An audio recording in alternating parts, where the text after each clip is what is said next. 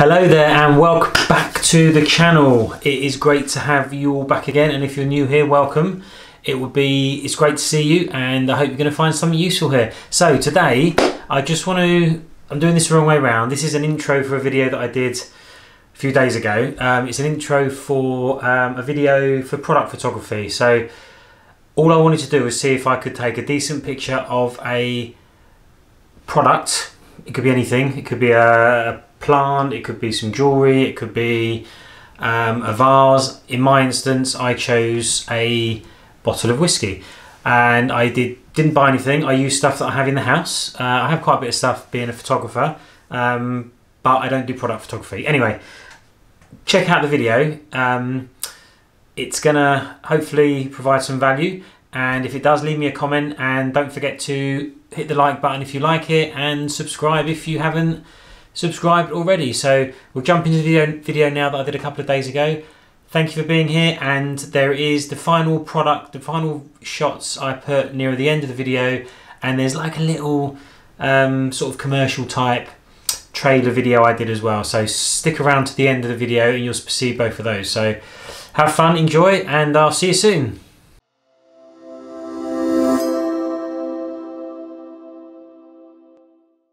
Hello, welcome to my humble office. Um, I have decided five minutes ago, or maybe 10 minutes ago, to try and do another genre of photography. I'm going to have a go at making a real cool product photography. Um, I'm only going to use stuff that's around the house, so I'm not going to go out and buy any special lights or backdrops or props or anything like that. Um, what I'm going to be shooting is a whiskey bottle there isn't even any whiskey in it, so I've got to try and find something that looks like whiskey. Uh, and I'm just going to use everything I've got. Now, of course, I am a photographer, so I have a lot of equipment already. Um, but I don't do product photography, so I haven't got the the backdrops or the lights or anything like that. I have these big old lights that we use here. I have obviously I have cameras and we have a nice bottle of whiskey, although empty, of course, that we're going to try and that we're going to try and shoot. So let's see how we get on. Follow me on this journey, and we may both learn something. So let's do it. Okay, let me straighten the video up. Start with. Uh, looks about right. Okay, so a couple of quick points on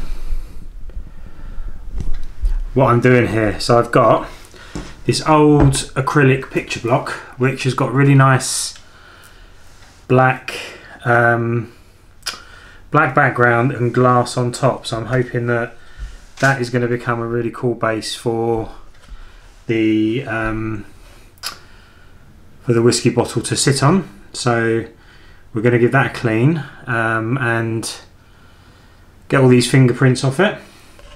Um, that's the first thing, and we are then going to stand it on. I have this my office chair, and I put round the back of it an old an old jumper, which has been clipped at the back here. I don't know if you can see this this clip here, which means at the front of it is nice and tight. And this old shelf, or this old, whatever you call that, stand, metal stand, that um, I'm going to put the acrylic block that I've just shown you on top of here, stand the whiskey bottle on top of it, and then see what we can get. Try and do some sort of lighting on the background. Uh, and take a nice photo this way and see see what it looks like. Now I haven't got a table. Well I have got a table. I haven't got a table really that is suitable for this uh, so we're just going to go with this and see what it turns out with. If I can't get the proper cropping in around the outside because it's not wide enough and these handles get in the way or you can see the background or something then we'll have to try something else. But I'm going to try and do it using this. So the next thing I've got to do is try and find something to go into the empty bottle of whiskey, which is here. Um, it's less than a litre, so it shouldn't be too difficult. Uh, I'm thinking I might just make up some tea or something. Just pour some tea in um, and see see how that turns out. So let's let's carry on.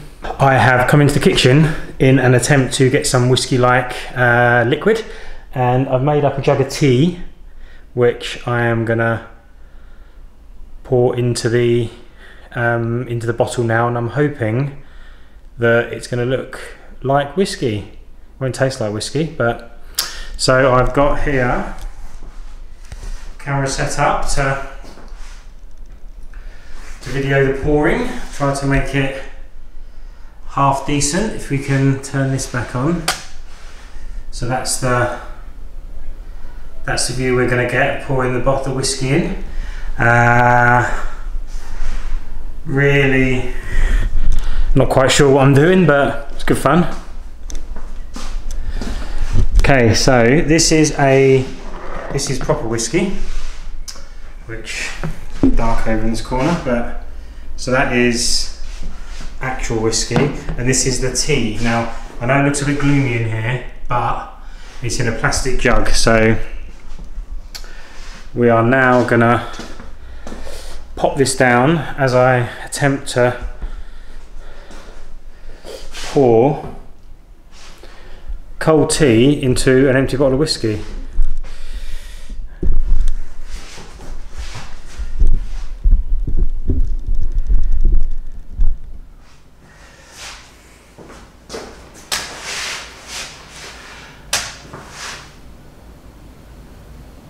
Right, that camera can't go there because it is in the shot. So I wonder if I can gorilla pod it to this.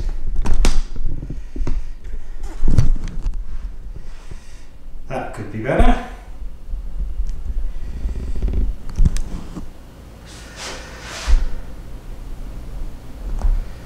And that definitely won't be in the shot. Right. I don't know. Okay, so this we've got to press record on here now, which is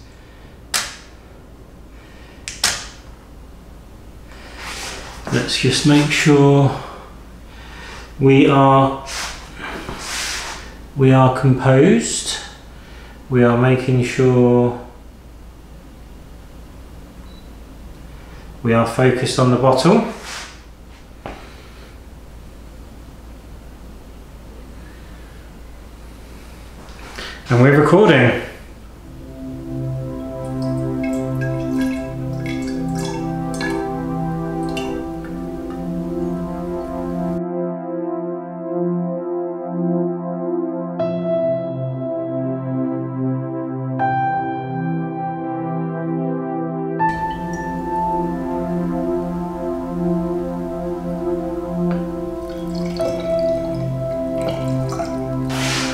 Okay, so that's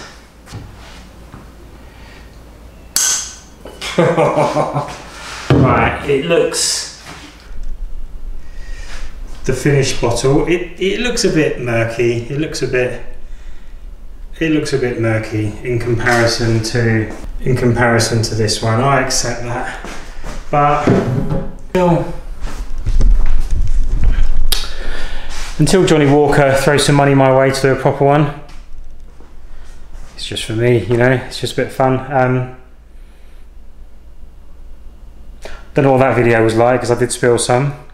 Uh, but that's not what I'm doing. I'm doing it to get a nice product photo and sharing it along with you guys. So let's go back in the other room now and see if we can get that lined up for a photograph. Hi, welcome back to the office. Okay, so we're done. Uh, we've taken some photos, we've taken some video, which I'm going to show you right at the very end. You can see the results we've got using this. Nothing majorly um, technical here. As I said at the start, things I've got lying around the house I've used. Um, we have got I will show you here now. We've got the bottle of whiskey that um, I used that was empty that I filled up with uh, cold tea, as you saw. Um, a whiskey glass, which any glass you could do a tumbler would have been fine as well. The mirrored, not mirrored, the acrylic, um, uh, the tray, if you like, it's a it's actually a picture frame, an acrylic block, but it's got a black bottom, so it's nice and shiny. and It gives a good reflection. Um, it's on my office chair um, with just a jumper put over the back and clipped at the back as you saw at the start as well. So I will show you now the photos that we what I managed to get using um, using this setup and they're not professional product photos by any stretch of the imagination but what it could give you is if you're selling your own products online um, and you're wanting to put them on a website or something it's just a little bit of proof that you can do this without loads of expensive photographic equipment. Yes, I've got the light that I showed you at the start, and it is it is giving us a nice light in here at the moment. But there's no reason why you can't do this right by a window. Clear a space by a window, pop it all by a window, and take the photo using natural light from outside. And it's got pretty half decent results. And if I was selling products, I'll be quite happy putting things like this online to showcase. Um, you know, if I was making my own and selling my own, and it's not the sort of thing that a big brand like Johnnie Walker are going to use, but it's something that a one man band or a small eBay shop or something like that could use just to give those products a little bit more um, a little bit more punch when you when you sell them online.